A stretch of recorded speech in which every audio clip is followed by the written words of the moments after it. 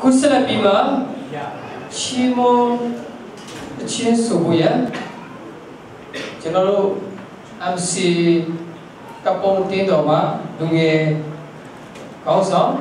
ယေကိုပီတာကိုယေရှုနာမနဲ့ပြောပါရစေ။သူဆိုမဲ့ချင်းကတော့အကြီးမြတ်ဆုံးလို့ဒီရပါတယ်။တကုတ်ဒီဆိုဆိုကြီးမြတ်ဆုံးကိုရောကောင်းမြတ်ဆုံး Oh.